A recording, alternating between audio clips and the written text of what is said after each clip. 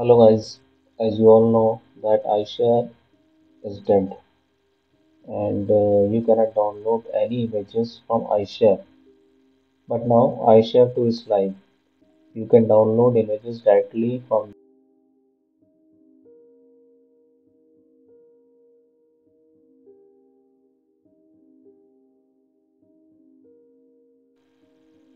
In this video we will learn how to download IOS images from iShare 2. Uh, I am assuming that you all know how to set up a PNETLab and if not you can watch my other videos in that uh, you will find how to set up a PNETLab.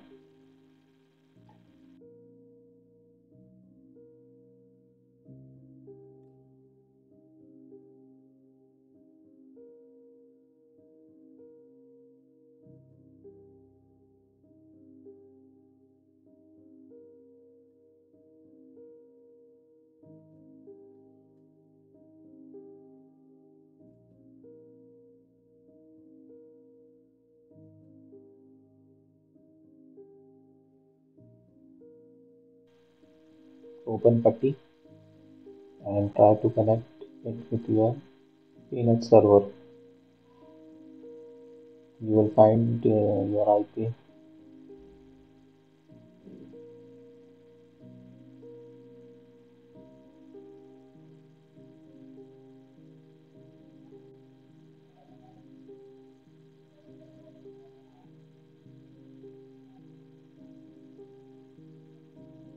changing the font because it is very uh, small.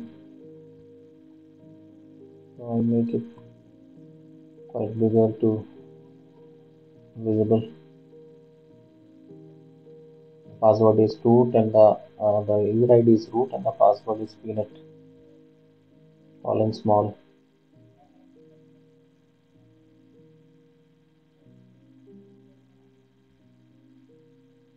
you will find the command in the description uh, this command will update your PNETLab uh, peanut server to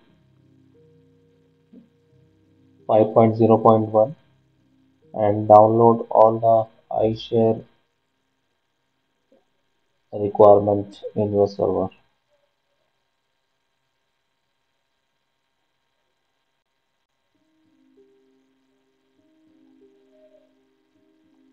These are all the available commands you can run in the iShare. These are the actions. These are the available commands in iShare.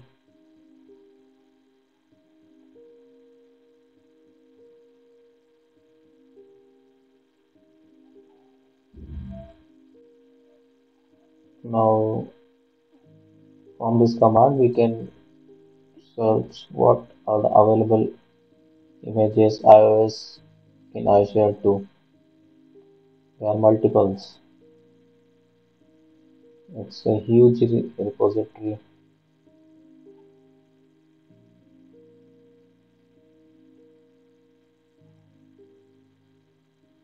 Look. There are lots and lots of images available to download.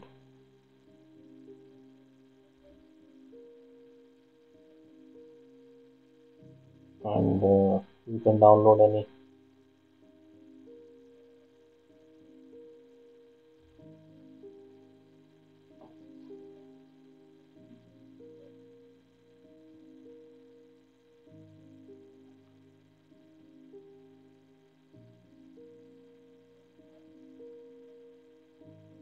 These the Windows Server, Windows 10.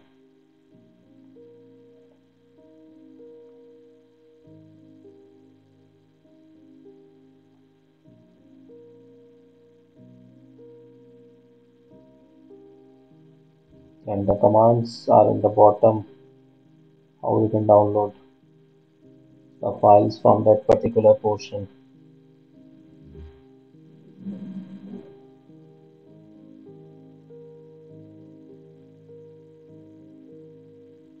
suppose we want to download uh, image uh, IOS image So we'll just write its number and it will start downloading. It's amazing. No need to write full name, just write the number and it will start downloading. And the good thing is that it will fix permission automatically. You, you don't no need to run any command to fix the permission.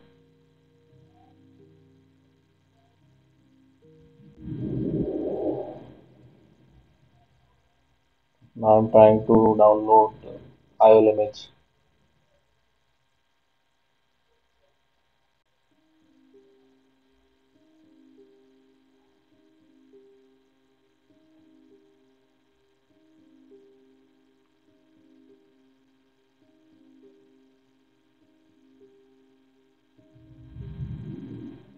It's totally depend upon your internet speed, how your internet is working.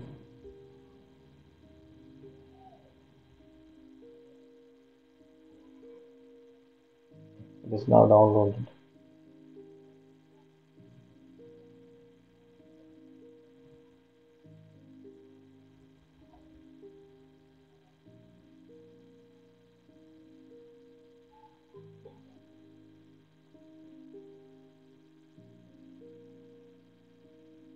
I'm just checking the the folder where it is downloaded.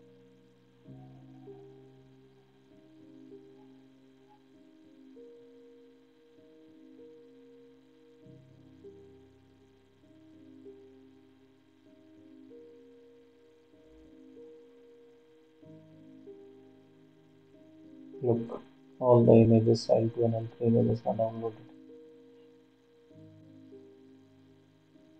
Now we can try to open a lab. Just open your web browser and uh, write the IP of your PNet server.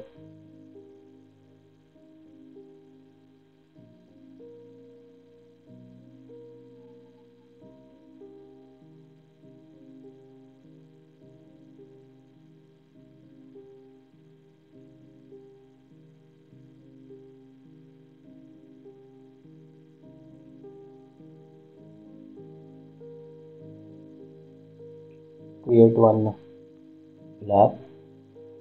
Um, write down its name. You can write it any.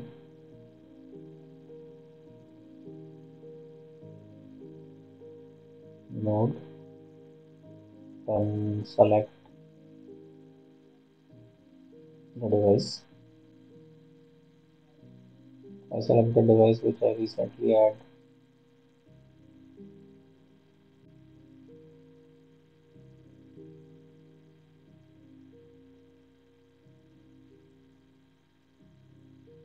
Now I'm starting the devices. Just double click on the device, it will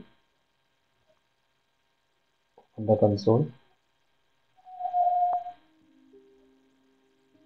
I'm using SecureCRT.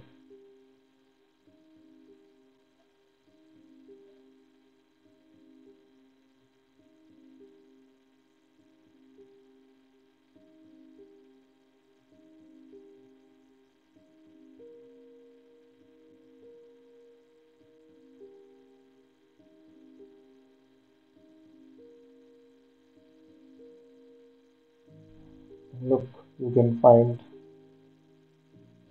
the console of both the devices. Thanks guys, thanks for watching.